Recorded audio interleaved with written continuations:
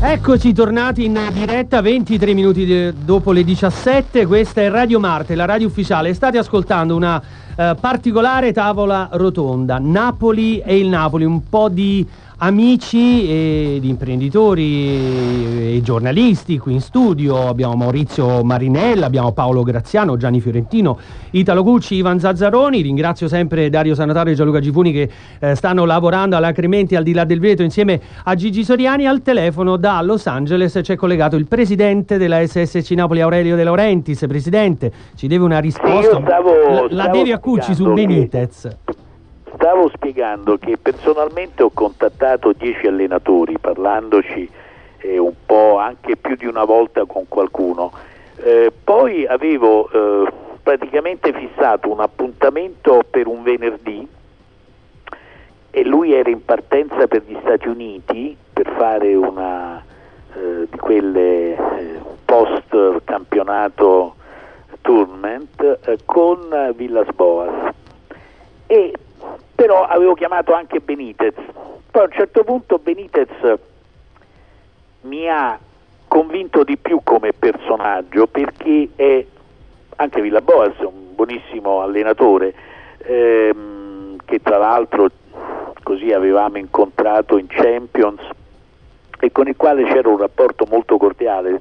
Um, però Benitez è un lottatore abituato alle difficoltà, e, e, e, poi è abbastanza monogamo, leggi la sua esperienza a Liverpool, quindi l'ho considerato uno di noi, sono, mi sono messo in aereo, sono andato su con Bigon e con Chiavelli, siamo stati con lui pff, circa eh, tre ore, sembrava che ci conoscessimo da sempre, eh, mi ha fatto mangiare un mare di di patatine fritte di cacahuète, eh, ci ha ricevuto nella, nella, casa del suo secondo eh, alla periferia di Londra eh, e ci siamo messi subito d'accordo, cioè non, non, c'è stato eh, un lungo, eh, una lunga negoziazione, ci sono stati pochissimi pochissimi minuti dedicati a quello e molto dedicato a che cosa si vuole fare a parlare di calcio.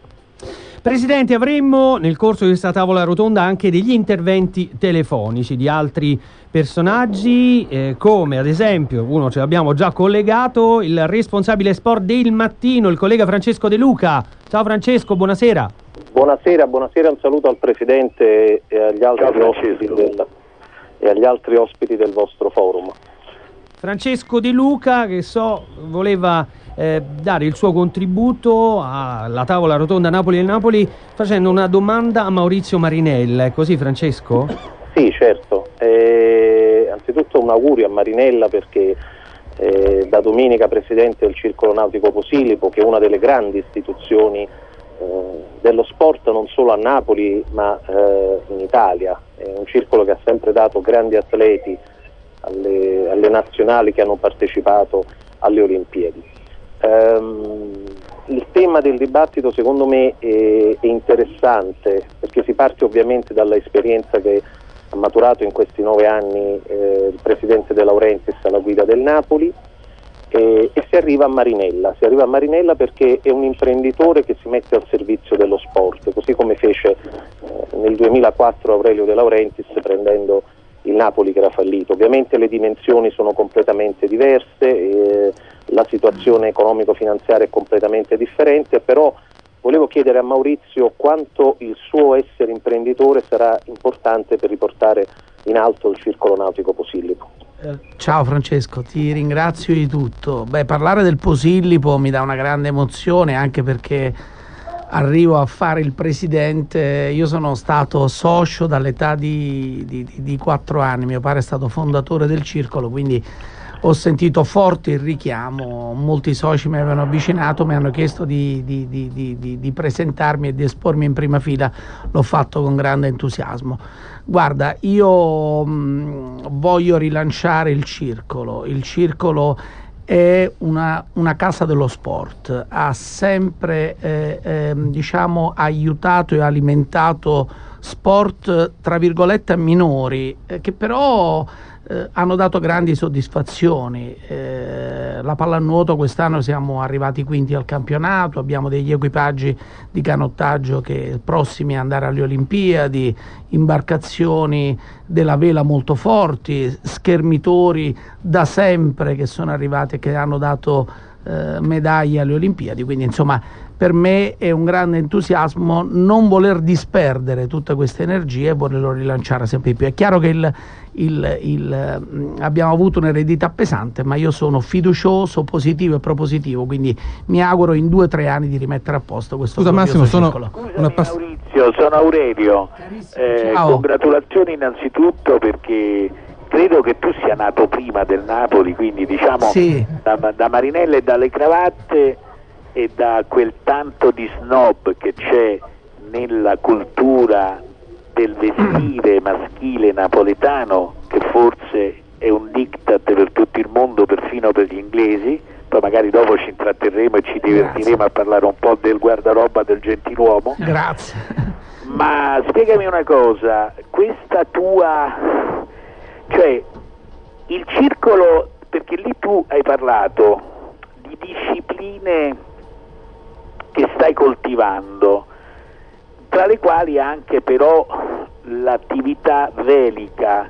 L'attività velica non fa parte del circolo più antico che è il circolo Italia, che è il circolo del remo e della vela? Domando. Nel frattempo saluto e ringrazio Francesco De Luca. Francesco, complimenti grazie sempre. A voi, grazie, grazie a voi e continuo a seguire il grazie. dibattito. Grazie. Eh, grazie guarda, eh, tutti i circoli napoletani, dalla Canottieri Napoli al Circolo Italia, al eh, al Circolo Savoia tutti fanno vela, del resto è anche giusto, Napoli è una città che sta sul mare, quindi la vela è uno degli sport preferiti, così come la pallanuoto. La pallanuoto eh, eh, le, le, due regioni importanti della pallanuoto sono la Liguria e, e la Campania, chiaramente. Quindi insomma eh, io voglio rilanciare tutti questi sport perché devo dire questi a Napoli sembra strano e, e, assurdo, è difficile fare sport. Eh. Ecco, quindi voglio ricreare un pochettino al circolo un po' la casa dello sport.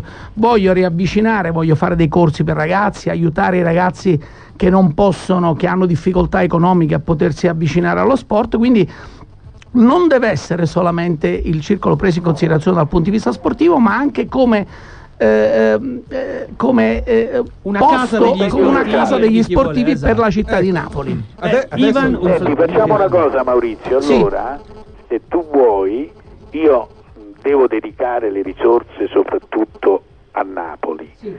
come eh, società calcistica. Tant'è che sono un po' contrario alle multidiscipline di una stessa società perché poi si finisce per consumare risorse tempo e denaro. Però visto che lo fai te, io credo che se tu non ti offendi, assolutamente no. una mini sponsorizzazione alle tue iniziative la potrà dare, in modo tale che insieme cerchiamo di verificare Grazie. come rendere diciamo, la città di Napoli eh, e la Campania proficuamente presente a livello nazionale e ove possibile internazionale. Allora, eh, bellissima cosa. Posso bellissimo. rispondere? Aurelio, non ti preoccupare di, tu, di quello che sto dicendo adesso ti volevo già bene, ma ti voglio ancora più bene da questo momento. Non ti preoccupare perché io la penso alla vecchia maniera, però insomma ci tenevo a dirti questo, assolutamente. No, Ti ringrazio molto. Prima della pubblicità, Ivan Zazzaroni sì, per eh, Non faccio nulla, risparmi per il mercato. Eh, sono 500.000 persone, un milione di napoletani che vogliono sapere quanto investirà nel mercato, innanzitutto, e quanti giocatori nuovi porterà. Poi, se ne rimane qualcosa, lo diamo al Posilico. Risposta allora, dopo la pubblicità, mi permette no, ancora, Presidente? No, Assolutissimamente, questa è la risposta dopo i suggerimenti di